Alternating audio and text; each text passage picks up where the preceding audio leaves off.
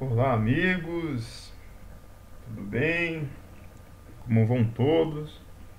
Sou estudante de cultura racional é, e nesse, nesses 80 anos de cultura racional, né, é, pintou aí, né, eu sou estudante recente, relativamente aí, né, eu comecei a levar mais a sério em 2011 mas surgiu umas curiosidades aí que, pô, que me intrigou, né? Assim, né? Tipo, de querer pesquisar mais aí, né?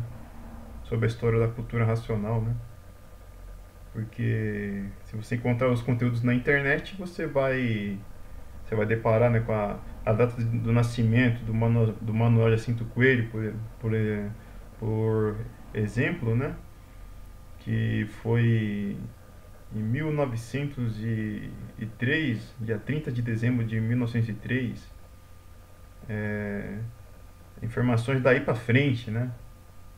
Na época que ele nasceu, ao, na fase adulta, fez, abriu a tenda, a tenda espírita Francisco de Assis, e no livro da cultura racional, e depois de 35, 4 de outubro de 1935 para frente, no livro da cultura já é, diz ali que foi o passo que, que houve a mudança de fase da natureza, a mudança de comportamento da natureza, né?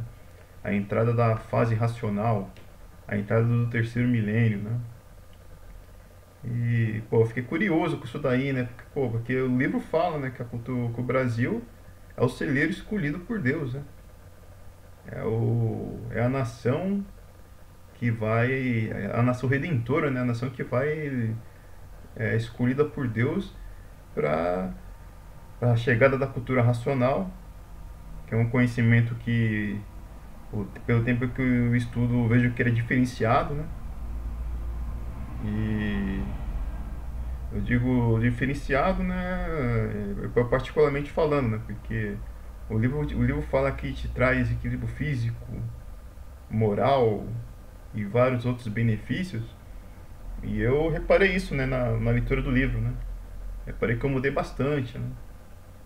Já tive um comportamento mais explosivo, hoje eu tenho um comportamento mais, vamos dizer, mais calmo, né? Pelo menos as pessoas que estão ao meu redor falam que eu mudei, que eu mudei bastante, né?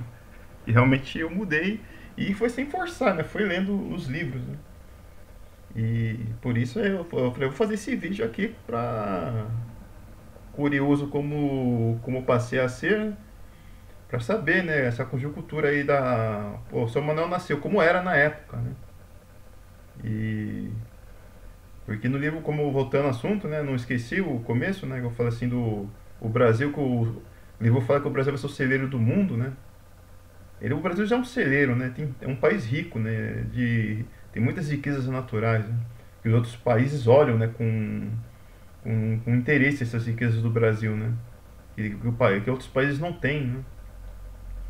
É, coisas, coisas que o, a gente no nosso cotidiano aqui a gente não a gente já está dentro do, a gente tá dentro da nossa a gente não vê a nossa grama a gente sempre, sempre vê a, a grama do vizinho né se você for ver né Pô, mas coisas interessantes que outros países invejam o Brasil né fora essas riquezas naturais a, um país farto de terras, né? Aí nós, nós aqui reclamamos bastante, mas não. E por estar dentro, inserido nesse contexto, não, às vezes acaba nem esquecendo, às vezes nem sabendo dessa riqueza do Brasil, né? Outros países é, reclamam, falam, pô, como aquele país de terceiro mundo tem ah, o, o Cruzeiro do, do Sul no, no, céu deles, né? por, por é, exemplo, né? O, o Cruzeiro do Sul e entre outras estrelas e um, é um é um espaço celestial muito rico, né? Já ouvi até falar até a, NASA, né? Ver, né? Que a maioria da, dos movimentos astrológicos estão em cima do, geograficamente falando, em cima do Brasil, né? Não sei se você precisar isso daí, mas eu escuto bastante isso daí, né? Até na internet a gente até encontra alguma coisa a respeito disso, né? Mas enfim, né? Eu não tô, não tô aqui pra é, sei lá, se mostrar intelectual. Não, estou aqui para falar né, o que eu conheço da cultura racional, né? E, pô, e passar para frente essas curiosidades aí, né? Que talvez aí os mais, mais expert no, no assunto, é, tem, posso até falar com mais riquezas que, que eu vou falar aqui, né? Ou às vezes nem conhece, né? Porque são curiosidades que viu agora aqui, eu dei uma pesquisada, né? Enfim, né? Tô enrolando muito aí, né? Para dar um inserir esse contexto aí, né? Do porque se o Brasil é a terra escolhida por Deus, né? Porque o, eu lendo o livro da cultura racional, eu eu até agora, né, pelo pela leitura que eu tive e pela pela vamos dizer pela coerência do, do, do, dos livros, né? Que é uma obra, né? Eu, eu não vi falha na, na no, na, no, na teoria do livro, né? Na teoria eu vejo é, pelo contrário, né? eu vejo coerência em, do, do, princípio ao fim, né? Apesar que no começo você lendo você tem mais dificuldade, que é uma coisa nova, né? Mas com o tempo você vai percebendo isso. Eu pelo menos para mim foi assim, né? A coerência do livro, né? Para mim ali eu é, eu entendo porque chamo o livro da cultura racional de livro Deus. Por, por isso que eu, eu também chamo ele de livro Deus. Enfim, né?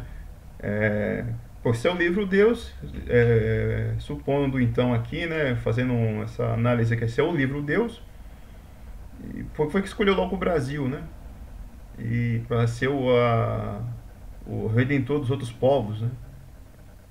Que o, o, o conhecimento que o país que trouxe que trouxe que veio o conhecimento para a união do ser humano, né? Friso aqui que a, o, o, que a, a finalidade da cultura racional, pelo, pelo que eu venho estudando, é essa, né?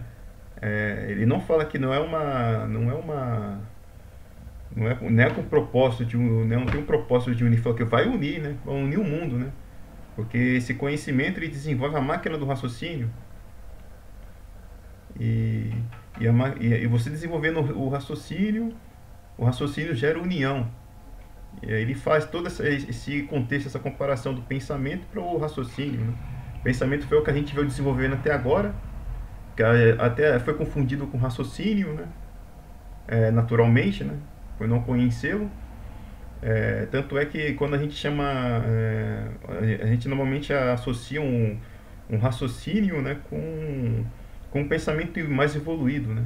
Mas a cultura racional já mostra outro, outra análise, né? Fala que o raciocínio é a, é a, é a massa cinzenta, a glândula pineal, é, que, que antigamente o, o em, em, outras eras aí os profetas estudiosos de outrora, né? Chamavam de a, a partícula de Deus, é, como, como mais mesmo aí que eu não me recordo agora que é a partícula de Deus. É, nossa, agora foge a mente. Teve vários nomes. Sede da Alma, lembrei alguma agora aqui. lembrei uma agora aqui, né? Sede da Alma, é... Massa Cinzenta, teve vários nomes, né? Mas a, o certo é que até hoje ainda é uma, meio que um mistério o que essa glândula pineal faz, né? O que esse órgão faz. Chegam até a dizer, né? Pela maioria aí da...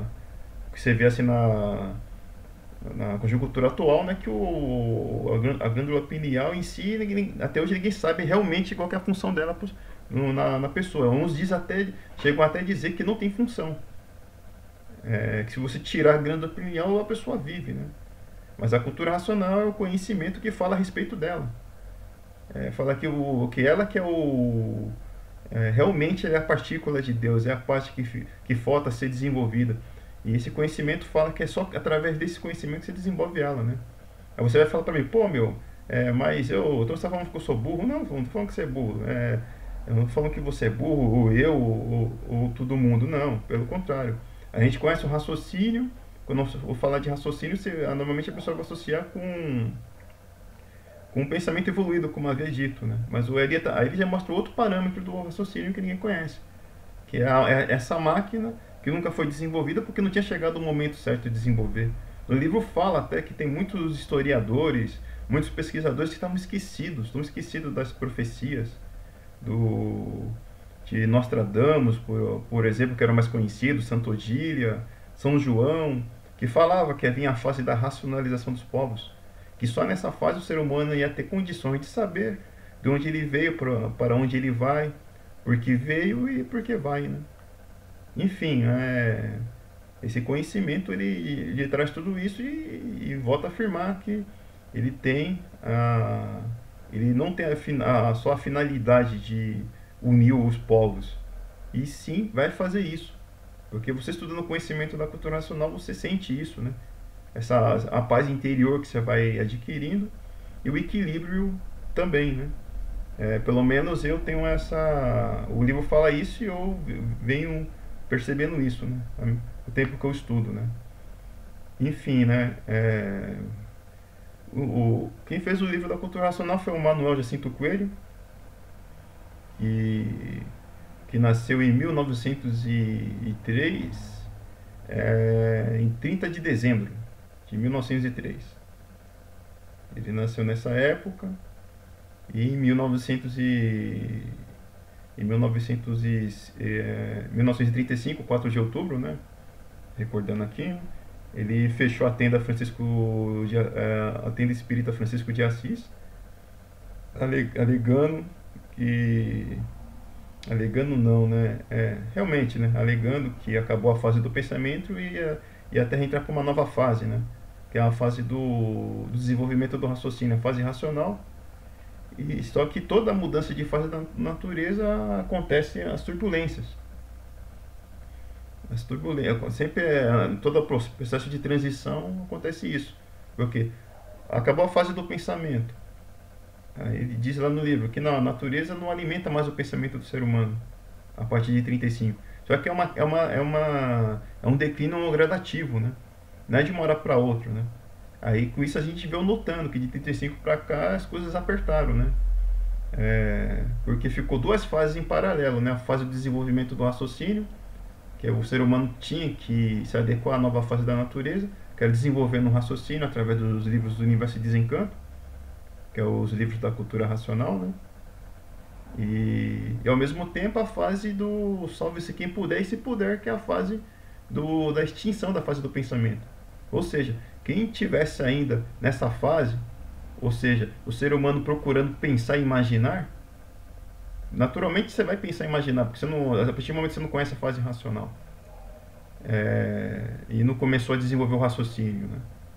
Aí você você está é, você tá vivendo é, contando com uma coisa que está falindo, né? Que é o pensamento e a imaginação, que gradativamente ele vai enfraquecendo o pensamento e vai gerando desequilíbrio, vai gerando, é, como se diz aí, vai desequilíbrio, desequilíbrio gera o, o desrespeito, o desrespeito gera violência, a violência gera o terror, os conflitos, o terror, e o terror gera as guerras, e das guerras a mortandade, né? É, não é à toa, né, que no livro fala até, né, que na, pô, o, na década de 80 mais ou menos, na metade da década de 80 já tinham 41 guerras simultâneas no mundo, né? Ou seja, foi um negócio gradativo, né? Essa gradativo no sentido de regresso, né? O ser humano chegou no auge da civilização até 35 e depois começou a, o declínio, né? E tá como tá hoje, né? E nada favorece o ser humano. Você, você pode analisar, né? Tem, tem desastres naturais, desastres artificiais, tudo depois contra o ser humano, né? Você fala, pô, o que está acontecendo? Se os antigos principalmente percebeu essa mudança de comportamento da natureza, da própria natureza e, e, e, da sociedade num todo, né? Mundialmente, né? Pô, é, essa é uma, é uma das coisas que me faz estudar o livro da cultura racional, né? Porque você realmente, realmente você estudando, você se sente protegido. Porque hoje Tá uma fase de salve-se quem puder e se puder. E ninguém tem onde, com quem contar e onde se agarrar. Aí quando pega nesse livro e leva a sério, estuda ele, você vê os benefícios, né? Isso, é, isso aí eu tô, eu tô contando isso daí, né, pra ser bem honesto com vocês, né? É, como, como deve ser, né? Lógico, né? Enfim, né? Então, eu falei, pô, vou fazer esse vídeo aqui, né? É, pra falar isso, né? E o assunto principal do começo do, do vídeo, né? Passou 14 minutos aqui, né? Pô, não falei ainda, né? É, qual era a condição do Brasil na época que o São Manuel nasceu, né? Porque, se, vou voltar um pouco atrás, né? É, foi o auge do, auge do pensamento, né? foi evoluindo, que no livro, no livro da cultura nacional fala que houve a fase da, do selvagem, depois passou para a fase de civilizado, foi evoluindo, evoluindo, através de muita guerra, muito sangue derramado, né? É, porque a, a, gente tem essa é, é herança né, do, do, selvagem, a gente tem esse, essa selvageria dentro da gente ainda, né, herança dos antigos. É, a culturação vai explicando isso, né? A gente está na civilização, mas você vê né, o tanto de monstruosidades que tem aí, né? Primeiro, porque já terminou a fase do pensamento. E aí, os pensamentos já estão enfraquecendo de todo mundo, cada vez mais fraco. E antes disso mesmo, o pensamento já não foi feito para acertar, ele foi feito para é, fazer o ser humano é, passar por é, é, o, o, pensamento ele faz ele gera ele gerava a, e como até hoje gera né, não mudou gerava a discórdia, né? E os atritos, o ser humano ia amadurecendo, né? E chegasse à, conclusão que tudo aqui não. Tudo vale nada presta, né? Se for ver, né? Tudo é bonito e no meu tempo não é, né? Se enjoa, tudo aqui você enjoa. É, tudo, é, tudo é temporário, tudo é passageiro como a nossa vida, né? Mostrando, sinalizando que aqui não é o nosso verdadeiro estado natural. É, enfim, né? É, a, a, o Brasil teve uma época de fartura, né? é, época do Brasil colônia de Portugal, era dos vinténs. Tudo era, tudo era barato, né? Um quilo de, de feijão era um réis, um quilo de carne era um réis, um, um ovo era um réis, uma galinha era um réis. Aí você fala, pô, meu, os dois eram um réis. É, pô, a pessoa podia pegar a galinha, comprar um réis e depois é, fazer sua... É, só lucrar com os ovos da galinha, né, e vender por um réis. Mas era tudo barato na época, né? Tudo, era, tudo praticamente era um réis. E, e nessa época era uma época de, época de muita fartura, né? Época do, dos réis, dos, vinténs. Quem tinha 100 réis, na, naquela época lá do, dos, ba, dos barões, dos condes, das duquesas, é, dos viscondes, era, que tinha 100 reais era, já era considerado milionário, era, era, e era milionário pro resto da vida. Não faltava nada para a pessoa, né? Era a época que foi criado o ditado lá que se amarrava cão com linguiça, e o cão de tão farto que tava e não, não comia linguiça, né? Foi daí que surgiu esse, esse termo, né? Pelo menos o, racional superior, né? Que, que se identifica aí como o autor do livro, né? É, que, que o São Manuel né, recebeu as mensagens dele, né? ele foi uma pessoa preparada para receber as mensagens do racional superior, que é um raciocínio superior a todos os raciocínios, uma energia superior a todas as energias, conforme está descrito nos livros do Universo de Desencanto, né? ou seja, o verdadeiro Deus. É, que Deus é um só. Aí, só que não, o ser humano não estava pronto para entender, né? para não estava preparado para conhecer o verdadeiro Deus, né? Só vai vai, vai estar tá preparado desenvolvendo um raciocínio que chegou o momento que é agora, né? Enfim, né? Voltando ao assunto, né? Era uma época de fartura, tudo era um réis, né? Tudo era um réis e e daí, e daí que surgiu esse ditado, né? Foi uma época que era Brasil colônia, né? Que era, era, era Portugal, né? Que que era dono da colônia aqui do Brasil, né? época que o era bom né, entre aspas, né, porque né, era, era, tudo bom, tinha fartura, porém o, o, o, a economia era movida a escravos. Né? E, e, Portugal, para expandir no Brasil, fez o quê? Né? Falava né, para todos os, os viscondes, os condes que vêm aqui para o Brasil, falava assim que tudo que eles. Era, a política era essa, né? É tudo que vocês, o que vocês vissem aqui no Brasil era seu o que você o, o que o, a que sua vista alcançasse e o que não alcançasse também aí eles ficavam donos de grandes grande, grandes terrenos né, grandes terras né? e eles, eles, tinham eles tinham uma eles tinham grandes terrenos esses, esses condes e viscondes que às vezes nem sabia o que tinha né porque era era nesse sentido mesmo né era de não o que o que a vista alcançasse e o que não alcançasse era deles né e eles tinham muitos escravos, né, trabalhando para eles, né? Os padres na época também tinham bastante, né? Hoje, tipo, é, isso, o livro contando isso daí né, ainda dá um detalhe. É, hoje dá para você contar porque acabou, né? é, foi, uma, foi naquela época, né? O livro não é conta nada, né?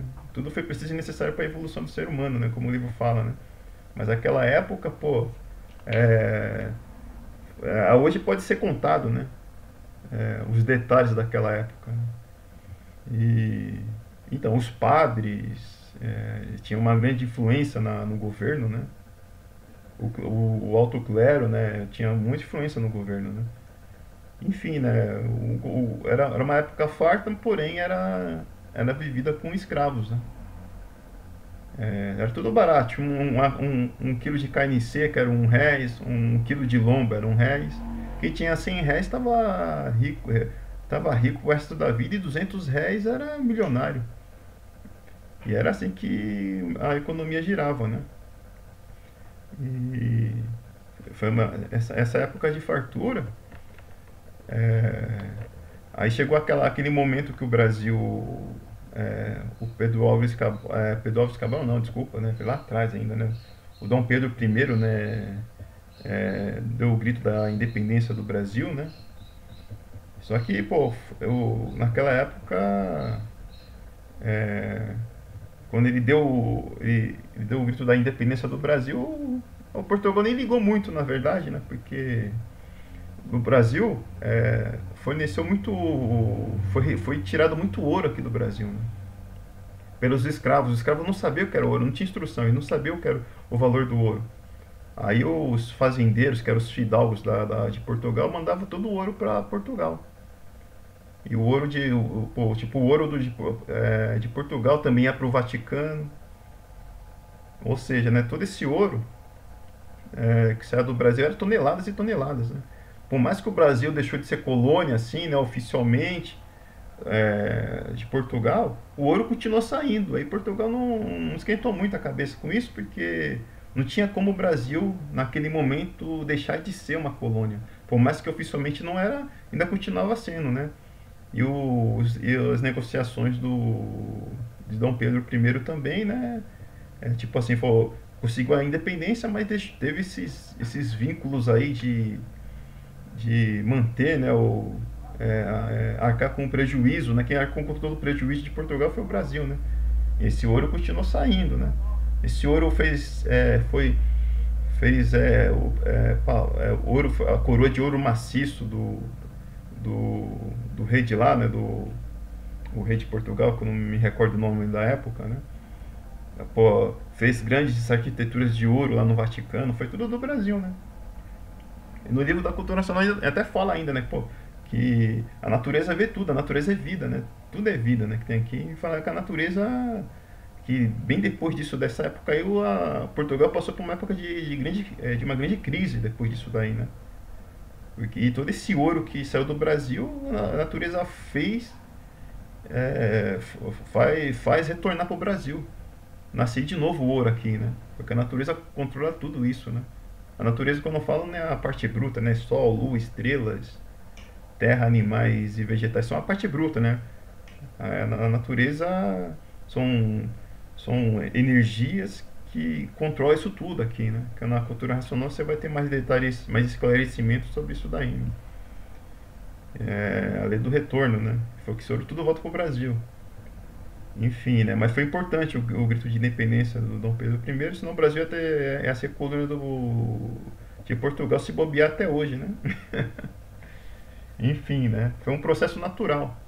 E, e, na, e naquela época o, o Brasil, né?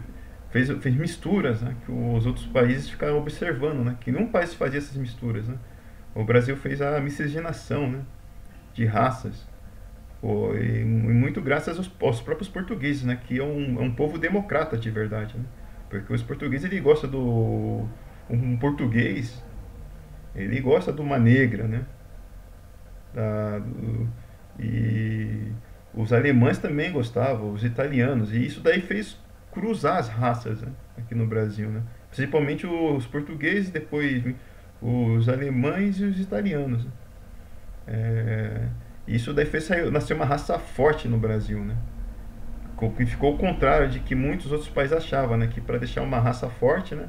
Eles levavam mais para o lado discriminatório mesmo de... É, como Hitler, por exemplo, fala da raça ariana, né, de, que tinha que ser a raça pura, né? Mas o livro da cultura nacional explica, né, que para uma raça ficar forte, é ter que misturar. E, tipo, uma, uma raça que não mistura enfraquece.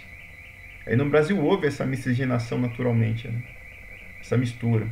Aí nasceu uma raça miscigenada aqui no Brasil, uma raça forte e por isso mais equilibrada, por ser mais forte, e ficou uma raça pacata, né? E se vê historicamente o Brasil é um, é um povo, o povo, o povo brasileiro é um povo ordeiro, um povo pacato, né? É, foge de confusões, né?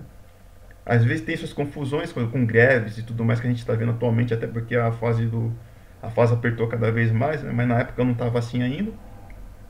É, o, o, brasileiro ele, pô, ele, ele, ele, ele, vai reclamar na hora que não, não, não tem mais dinheiro no bolso, né? quando tudo aumenta. Tudo aumenta e, e não tem para onde correr, né? Mas o brasileiro ele aguenta, né? Ele aguenta, ele suporta mais do que os, os outros povos uma situação de crise, né? Isso já é provado, né? O brasileiro sai, se, sai melhor numa situação de, de crise do que os outros países. E, e por isso que eu estou falando, estou voltando nessa época, né? Sabe que teve essa mistura, né? Fortaleceu, né? O, a mistura do branco com o negro, com os índios, a mistura. A mistura fez a raça do Brasil ser uma raça forte e pacata, né? Aí, ao mesmo tempo, né, que os outros países não misturavam, né? tinham mais preconceito para misturar, e viu no Brasil que deu, que deu certo essa mistura, né? É, por isso que eu estou voltando nessa época, né, para falar dessa época aí, né, que, pô, essa época da, da fartura, de Dom Pedro I, até para antes, né, Dom Pedro II também continua a fartura, o auge ainda, pô, foi 48 anos mais ou menos aí de, do governo é, do Dom Pedro II. E, e, a, e, e, o que acontece? A sua filha, né, a Isabel, princesa Isabel, é, ela, ela tomou regência do Brasil umas três vezes enquanto o, o imperador né, e a imperatriz estavam viajando. Né? E o imperador ia muito para Petrópolis. Né? Eu dei uma pesquisada, né, eu achei interessante isso, porque é, na pesquisada que eu dei, assim, em, em, alguns documentos que a gente encontra pela internet, né? É, fala que às vezes que a princesa Isabel regeu o Brasil na ausência do, dos seus pais, ele porque eles tinham ido para a Europa, né? Mas aí no livro da cultura nacional dá um detalhe a mais, foi que o Dom Pedro II ele foi para como se diz para Petrópolis, né? É, e não, então tem detalhes aí, né, que pô, eu achei interessante. Bom, mas isso aí é detalhes, né? É, e, e nessa, em uma, em uma dessas idas, né, ela, ela, ela, ela assinou a Lei Áurea, né? Porque ela era, ela, o livro Cultura Nacional explica, né, que ela era apaixonada pelo, pelo escravo. E o escravo pediu para ela que libertasse os escravos, né? E ela conseguiu fazer isso, né? Ela, ela Aí o, aí o imperador e a imperatriz, né? O Dom Pedro II e a Teresa, né? Teresa Cristina, né? Se eu não me recordo. Se eu me, me recordo, melhor dizendo. É, ficaram putos depois aí, né? Mas já tinha feito já, né? Foi feito a assinada Lei Áurea, né? Que foi em 88, se eu não me engano. 88, isso mesmo. Algum tempo atrás, antes, ela já tinha... Na, na, na sua primeira regência, já tinha assinado já o é como se diz, a, a lei do, do, ventre livre, né? Que todo escravo que tivesse um filho, a partir daquele momento, é, já o filho ia ser livre, né? Já estava já tava tendo já uma... Um, é, o mundo já estava mudando já nesse sentido, né? E o Brasil estava um pouco atrasado nisso aí, né? Aí graças à princesa Isabel foi, aconteceu isso, né? Em 1888, né? Pô, é bacana, né? Porque eu tô apontando isso, porque tudo isso daí prescindeu a vinda do, do mestre. Do Manuel Jacinto Coelho, né? Que eu carinhosamente chamo de mestre, né? Por trazer esse conhecimento pra gente, né? E...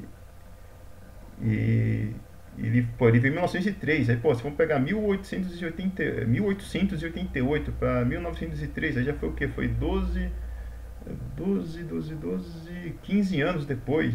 É, a condição, como estava a condição, o cenário para a vinda, do, da pessoa que quer trazer o conhecimento da cultura racional. Pô, eu achei, eu achei, eu achei muito interessante isso. Eu dei uma pesquisada na época, né? Eu vi como é que estava o Brasil. Estava na fartura ainda. É, depois que a princesa Isabel assinou a Lei Áurea, é, eu, eu, procurei a, a, história assim, diz que naturalmente o Brasil ia para virar uma república, mas na verdade não era bem assim, como o livro explica, né? Ele não, ele não contesta nada, eu estou contestando aqui, né? Diga-se de passagem, né? Que o livro explica que, pô, naquele tempo, o, como se diz, é, o quem tinha um poder mesmo era o clero, né, da, dos padres, né? Os padres ficaram, eles ficaram putos da vida, né, com a com a libertação dos, dos escravos, né? porque eles, estavam, eles, eles, reclamavam, né? Foi como a gente vai sobreviver, como a gente vai se vai se manter aqui para frente sem os escravos trabalhando para a gente, né? Aí eles ficaram revoltados e em 24 horas expulsaram a família, né? A família real do Brasil, né? E Dom Pedro II era um a família era uma família boa, e Dom Pedro II, eh, Dom Pedro II era um bom homem, né? Ele não quis é, reivindicar, né? E o povo brasileiro era um povo pacato, né? Cada essa mistura. E o, e o povo ficou até, até olhando a história, você vê que ficou até indignado né, com isso daí, né? Mas só que eles não fizeram nada, ficaram na deles e o, o, e o imperador e a imperatriz e sua família saíram do Brasil e não quiseram é, revidar, né? Por, por, justamente ser boas pessoas, segundo o livro da Cultura Nacional fala isso. Né? Eram boas pessoas, né? É, é lógico que eles tinham escravos também, né? Porque era a sociedade da época, né? Era assim. Ele estava inserido naquele contexto, né? É, embora ele já tinha já fortes indícios também de de é, de aderir, né? A, a, a, libertação dos escravos bem antes, né? Até porque a Isabel já tinha feito a lei da, do, do, do ventre livre, né? Pô, é, é isso aí, né, pessoal? Contando um pouquinho dessa história, né? Tô colocando o que eu vejo no livro e pegando alguns detalhes que eu pesquisei na, na internet a respeito dessa época aí, né? A época dos vinténs, né? No tempo que o dinheiro valia, né? Foi essa época, né? Quando o seu Manuel Jacinto Coelho nasceu, foi em 1900 e... 1903, como eu falei, quem governava o Brasil era o, o paulista, né? É, Rodrigues Alves, foi o que governava o Brasil. Ele governou do, o, aí o Brasil já era república, né? Foi uma época relativamente boa, né? Porque foi, tanto é que o, esse presidente ele foi considerado o, o grande presidente, né? Foi a época que estava no auge da, da seringueira. O Brasil, o Brasil era a segunda maior exportação do Brasil, a seringueira lá, lá de Manaus, né? Amazonas, né?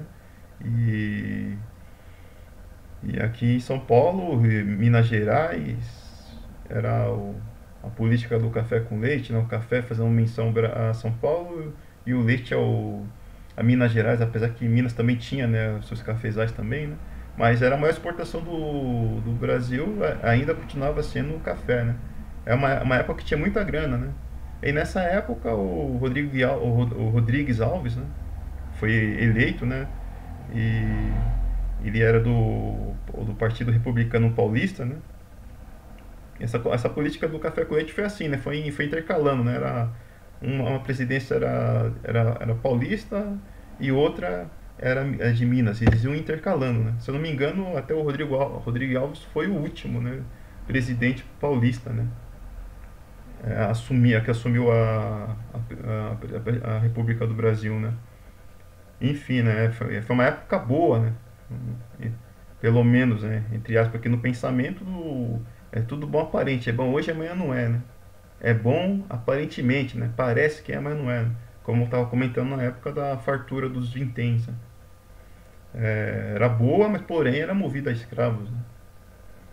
Enfim, né? Aí, nessa época aí, é, ele fez um, grandes obras aí para o Brasil, né?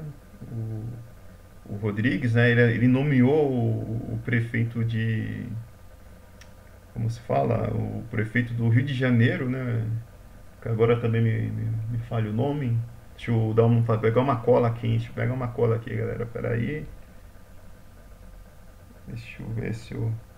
Se eu tenho alguma coisa aqui fácil.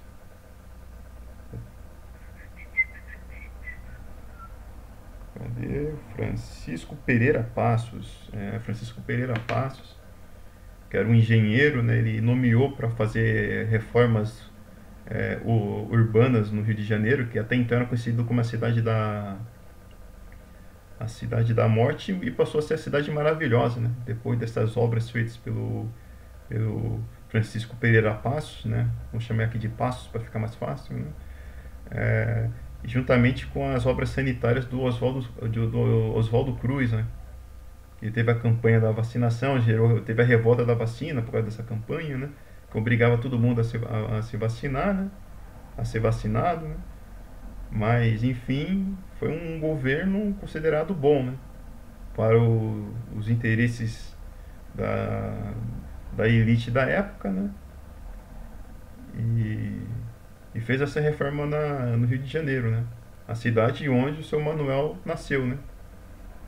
Foi reformaram toda ela, né? Todo o centro, alargaram as ruas, é, o teatro municipal, foi feito bastante coisa mesmo lá naquela época, né? E essa parte de saneamento aí feito pelo Oswaldo Cruz, né?